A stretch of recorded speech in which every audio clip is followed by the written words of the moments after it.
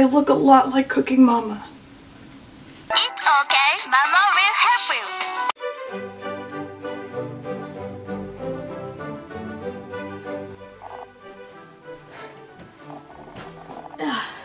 Hello, salut, hola, or whatever language you speak, welcome. So, in my research endeavors of the 18th century fashion, I have come to terms with myself wanting to create my own 18th century gown.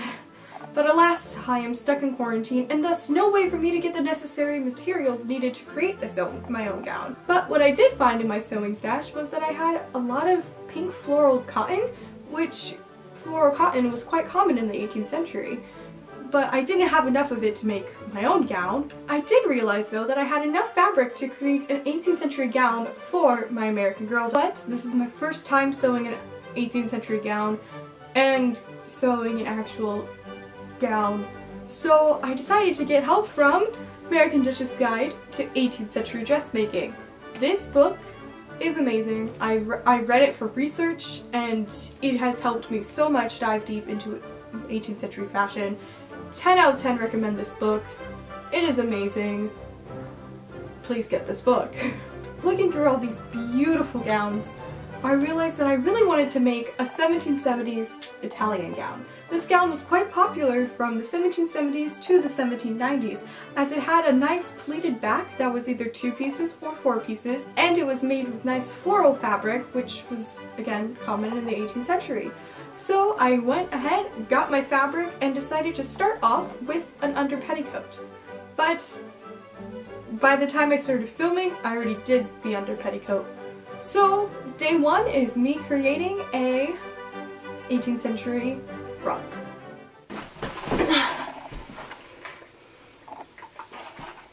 day one.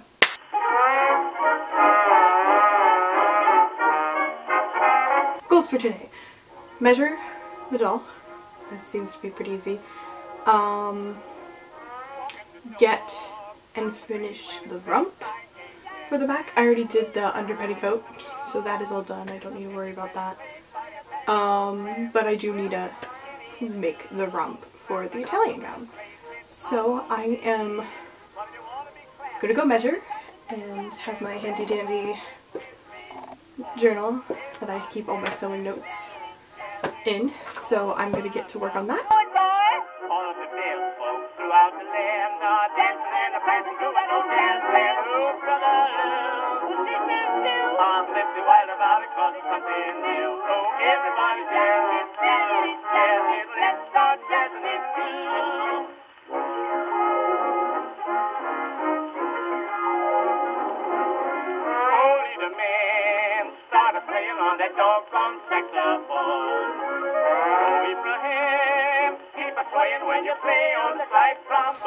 I got her measurements and I'm going to work on her rump now, which is based off 18th century, late 18th century rumps during that time, which were quite popular during the late 18th century as they created a subtler full back and they didn't need the wide panniers anymore because that was not into fashion. So I'm going to work on the rump and I will figure out what I'm going to do after. So I found this cotton which I feel like would be really good for the rump as it will not be seen and it's white. It also matches the cotton that I used for her underskirt, her under petticoat. So figured those would match really nicely. And yeah, so I'm just gonna draw out a rough sketch on a piece of paper of the pattern and then I will put it on here, trace it out, and sew it. So I was doing the calculating the math according to the book where it told me to do the waist circumference times that by two and then minus the hip circumference and then I would get the amount to add to my rump. So that I figured that out and then I decided okay so according to the image in the book I was trying to figure out how much to make this curve and how to make this longer.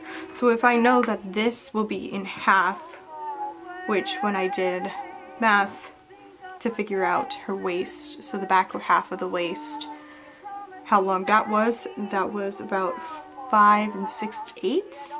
And then divided that by 2 to get how much each should be in half and then divide that by two again so I know how it would be folded and develop the waist which is going to be a tiny rump which I started to realize and I guess that's okay. I mean it makes sense but as long as it adds fullness then I feel like it's good and if I can add I think this would be centimeters because I don't think I can add 9 and 3 7 fives of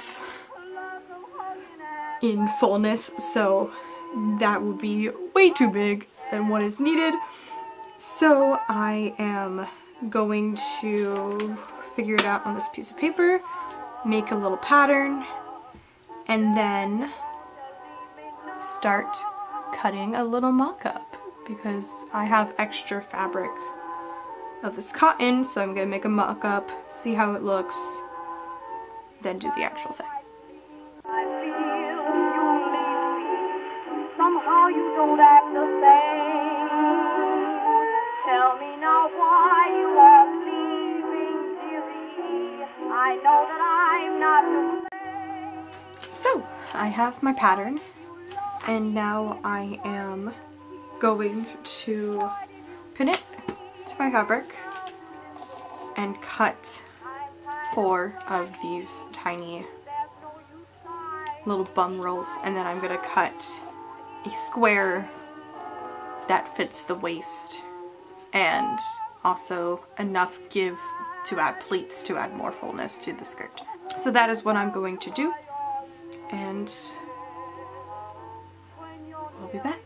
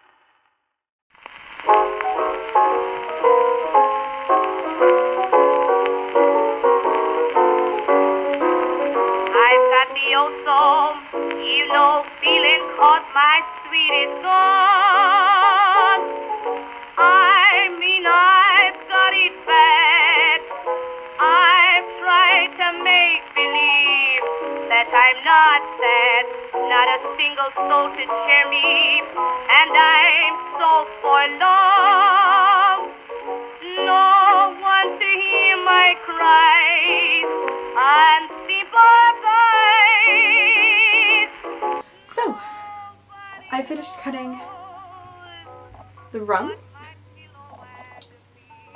Realized now that I cut it that it is the entirety of her waist.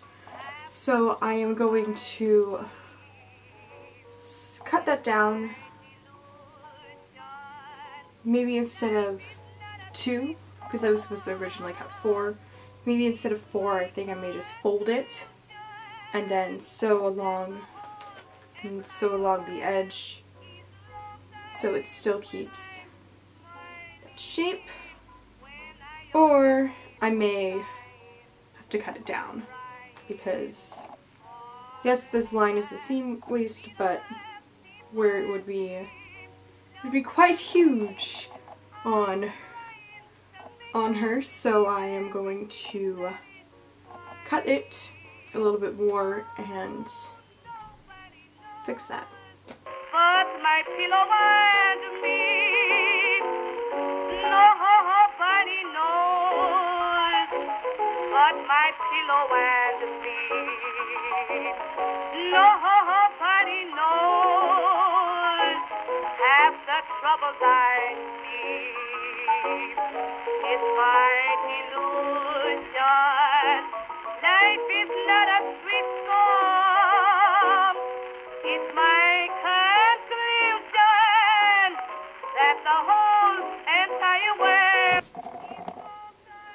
So it is 9 o'clock. I am going to stop for the day. I finished sewing all the small squares. I have the skirt part need to hem it and get this little pleat and then connect the two pieces and also stuff these little guys. But I am tired. I have to do more homework and I will work on that tomorrow. So, until day two. Day two.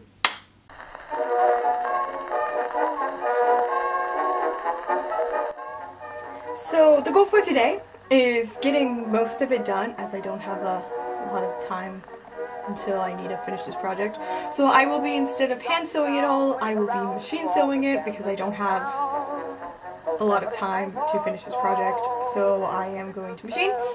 The goal for today is to finish the rump, work on the petticoat, that will be the outer layer or the outer skirt of the gown, and maybe finish the entirety of the gown. So I have a lot of work cut out for me, but I am excited and let's get to it.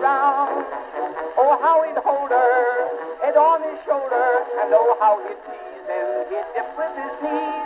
He'd draw her to a corner and he'd feel a little squeeze while they were dancing around, all around, all around. They were the talk of the town, and when the band was playing, that hesitation you could hear her saying. There's some sensation and the people would stay till the break of while they were dancing around.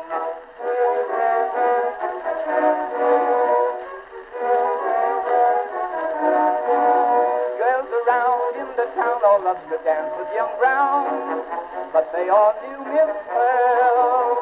She was there with a stare that said, "Go on if you dare," but you could hardly blame the girl. On the floor she'd stay, dancing night and day, just to keep them all away. Dancing around, they'd be dancing around. Oh, how he'd hold her, head on his shoulder, and oh, how he'd tease them. He'd dip with his knees, he'd drop her to So I finished the rump. It is super cute. Got little bum pads. So I'm going to try this on her, see how it looks, and then I'm going to take measurements so I know how long the back of the gown needs to be over the rump.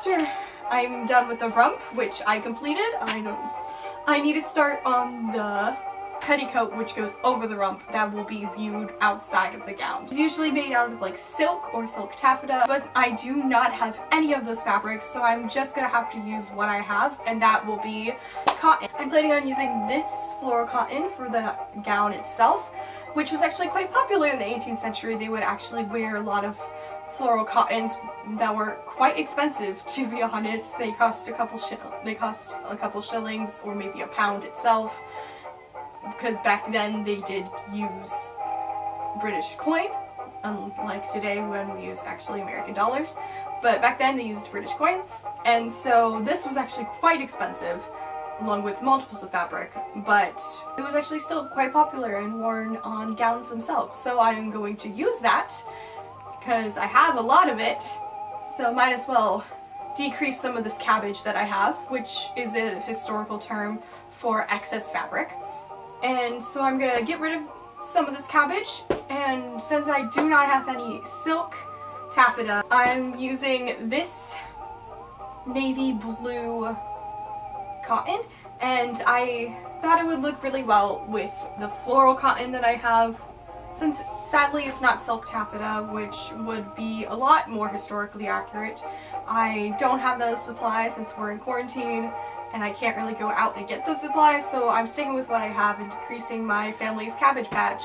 So we are going to go draft a pattern for this using the one in the American Duchess Guide to 18th Century Dressmaking.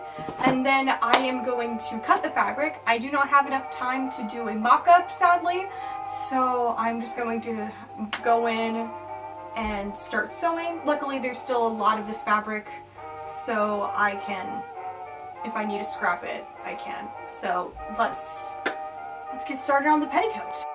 So what I'm doing here is just taping together two pieces of paper to make sure I have enough length for the pattern piece. Then I am marking off my lines of where I want the length and the width to go.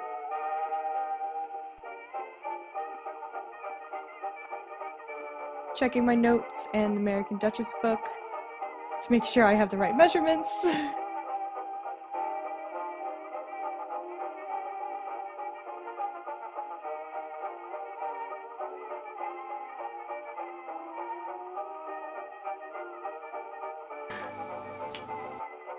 So here I'm just tracing the pattern with some soap so I could see where I want to sew. Then I just cut up the pattern pieces.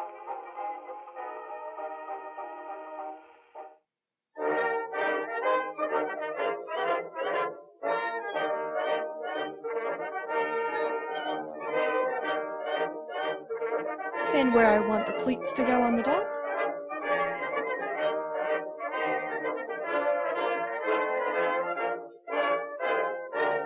Then sew by machine.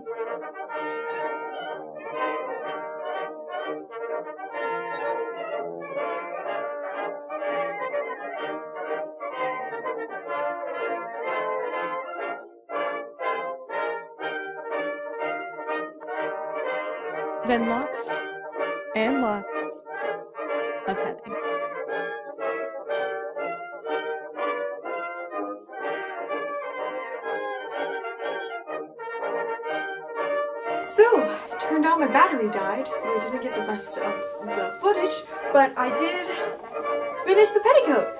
So it is all hemmed around the edges and on the inside, and I added little strings to tie and close it. Usually in 18th century gowns, it would be connected, there would be a tape that goes around the edge, and it would tie in the back and then tie in the front, but since I don't have a lot of the necessary materials, I dealt with what I had. So I think I can either tie it like this or just tie the sides together. Haven't figured out which I'm going to do, but we'll see how it works. Yeah, I'm going to stop for the day. I feel like I got a lot done, and tomorrow I am going to do the actual gown itself, so that's going to be a lot of fun. So we'll catch you tomorrow. Day 3.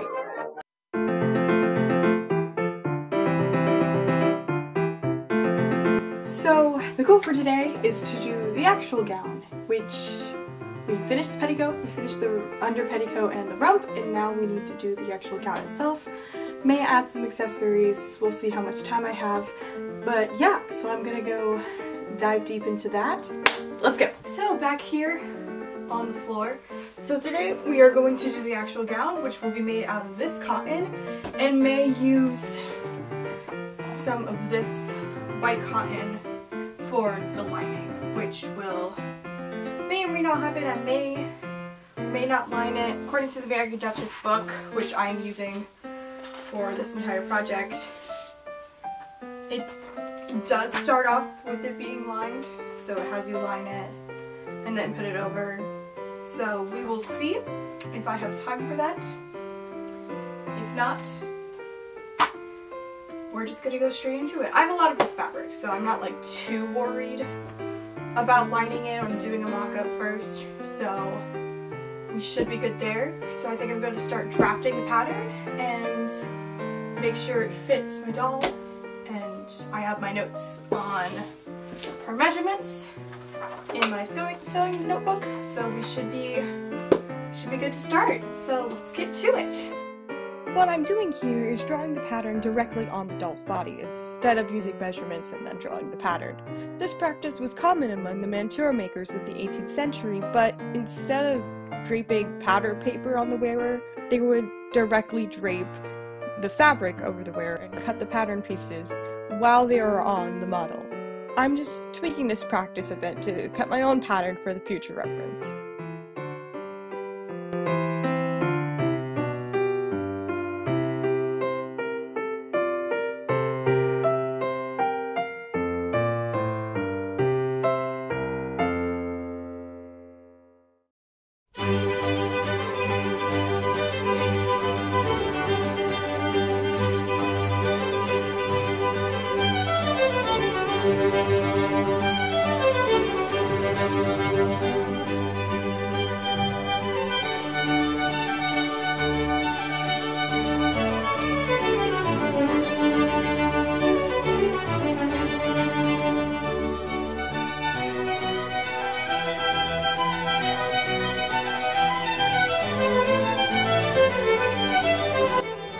Then I place the patterns on the fabric and pin them into place.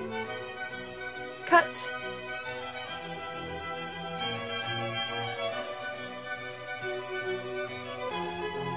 And then sew the back panels together.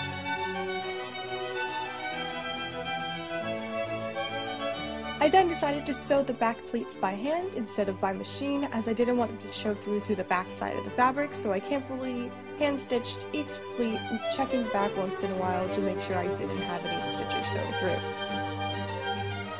Then I sewed the bodice pieces together via machine and then started to hem everything. And trust me, there is a lot of hemming.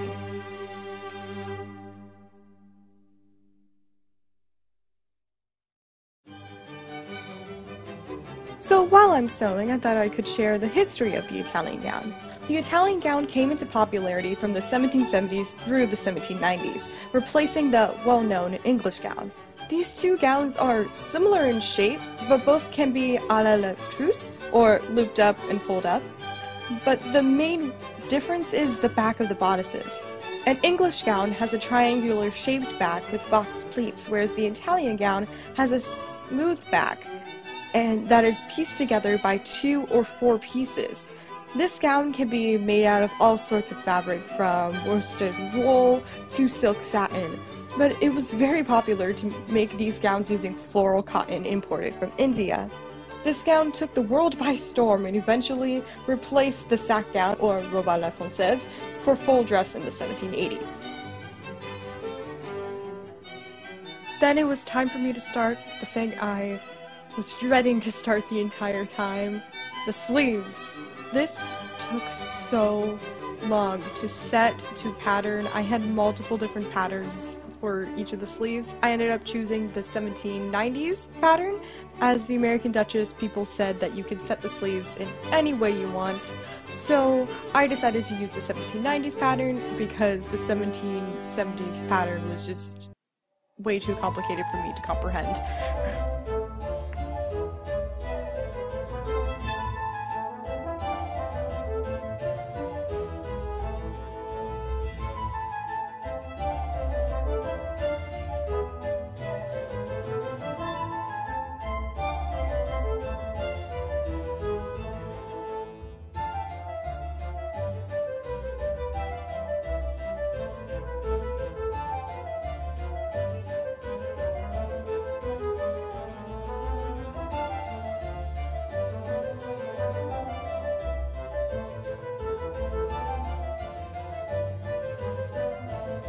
Next was the skirt panel. I did this by just cutting the length of the fabric across the entire width of the fabric.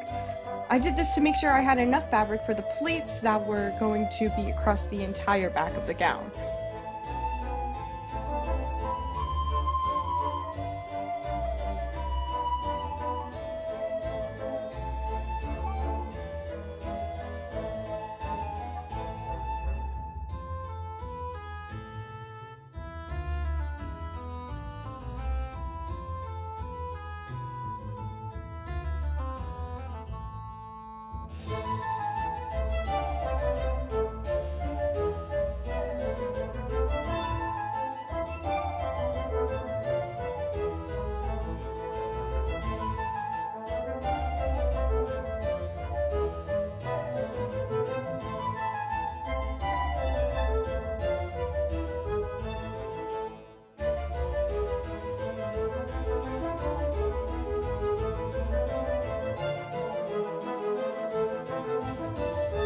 It is 12 o'clock, aka midnight. I am exhausted, but I finally finished the gown and I will be showcasing you that after. So I thought the process went really well. I think I had some issues with the gown itself and also the situation. But other than that, feel really good about what I created and I'm super excited to show you guys.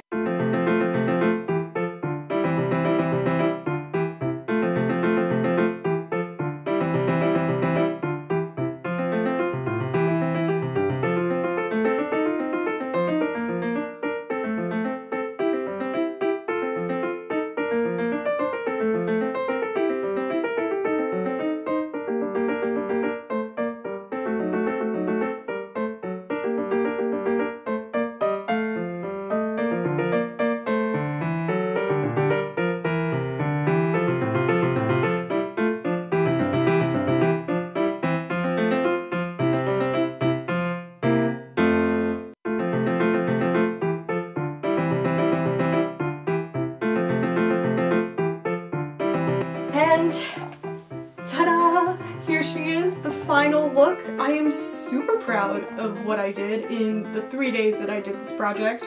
I had a lot of issues, especially with the sleeves. The sleeves were a little rough. But then again, sleeves are always a little rough. But it was so much fun to do. If I could have done this project again, I would have definitely had the right materials. So silk taffeta for the petticoat, floor cotton, which is already fine, but the correct thread as well. I didn't have any light pink thread. I only had navy blue thread and white thread. I had another pink thread, but it was super hot pink, and that would not look good with this floral pink gown. So what I had to do was use white thread, and it shows through a lot, and I kind of regret that, but I had to use what I had to use. So if I could do this project again, I will definitely get the right materials and try and make it historically accurate as possible and entirely hand sew this project. This gown is not entirely hand sewn. About 75% of it is, which I'm quite proud of myself. I only did bigger pieces that were much larger and time consuming to machine sew. So I machine sewed the bodice pieces together. I also machine sewed the skirt, um, the petticoat panels, which was fine. But other than that, everything was entirely hand sewn and I am super proud of myself. I had a lot of issues, poked myself multiple times with a needle. You can probably see that in some of the footage. I'm sorry. But other than that, I am super proud of everything that happened and I can't wait to do this again and create my own 18th century gown in the future. Thank you so much for watching this video. It was a lot of fun for me to create an 18th century gown and I hope it was fun for you to watch. Keep up with your sewing endeavors and I'll see you next time. how do, how do YouTubers do this?